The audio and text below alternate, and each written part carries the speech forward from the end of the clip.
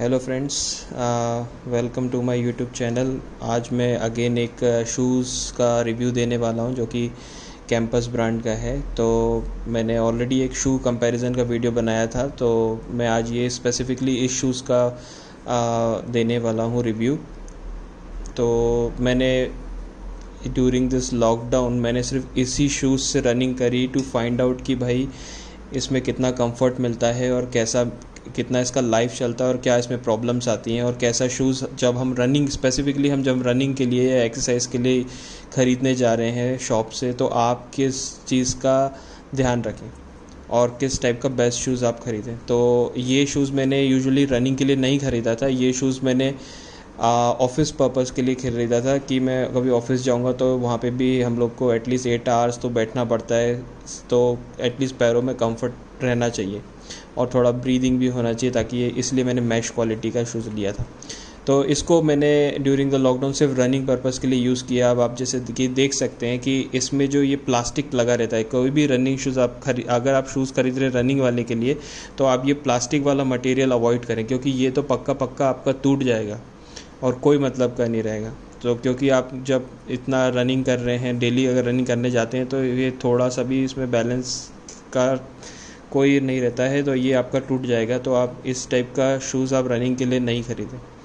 तो अब बात आती है कि इसकी बिल्ड क्वालिटी कैसी थी। तो अभी आप देख सकते हो कि मैं एक साल से कंटिन्यूसली इसको रनिंग कर रहा हूँ। अंदर से इसका वियर एंड टीयर पूरा परफेक्ट है। अभी तक इसमें कोई प्रॉब्लम नहीं आई है और इसको मैं थोड़ा हाइकिंग के लिए भी यूज़ किया मैंने।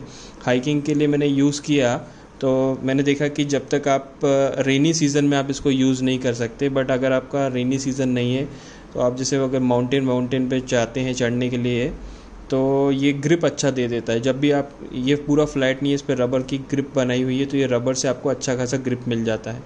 बस ये मैंने रेनी सीज़न में इसको ऑब्ज़र्व किया, थोड़ा स्किट होता है तो ये वाला रेनी सीज़न के लिए आप यूज़ नहीं कर सकते। बट अगर रेनी सीज़न नहीं और आप हाइकिंग के लिए यूज़ चाह रहे हैं तो आपको ये रबर का जो अच्छा इसका ग्रिप है तो ये आप यूज़ कर सकते हैं। सेकंड इसका ये है कि इसका जो ये लेसेस वगैरह हैं, ये भी काफ़ी अच्छी है। कुछ भी प्रॉब्लम नहीं है, इसकी मैश क्वालिटी भी अभी तक स्ट्रॉन्ग है। यहाँ पे बस इसका यही एक डिसएडवांटेज मुझे जैसे मैंने प्रीवियस वीडियो में भी बताया था कि आप जब आफ्टर रनिंग जब अगर आपको स्ट्रेचिंग वगैरह करनी है तो बस यहाँ पे हल्की सी आपका थोड़ा सा जो है यहाँ पे इसकी जो ये टंग रहती है शू की टंग, थोड़ी सी एक्स्ट्रा फोम होगी तो ज़्यादा बेटर रहेगा कि थोड़ी कड़क है। बाकी इस ये जो कैंपस शूज़ था, इसमें ये पिलो फोम करके प्रमोट कर रहे थे तो इसमें आप, इसमें, इसका जो ये है, यहाँ पे बिल्कुल इसमें स्ट्रॉन्ग ग्लू लगाया है तो निकला भी नहीं एक बार भी।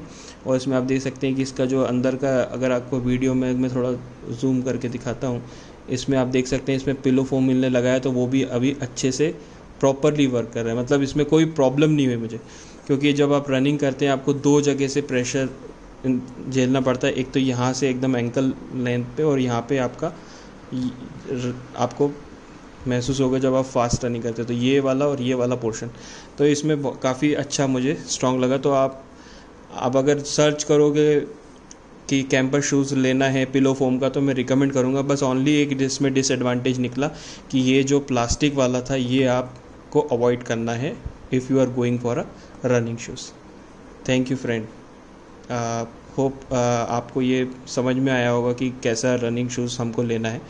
आप अगर देख सकते हो, आपको कैंपस का पिलो फोम का शूज़ मिले विदाउट दिस सो आप बाय कर सकते हो ये वाला। मैं रिकमेंड करूँगा कैंपस शूज़ रनिंग के लिए बट इसमें बस आपको ये चीज़ नहीं लेनी है। It's it was really nice shoes for running okay thank you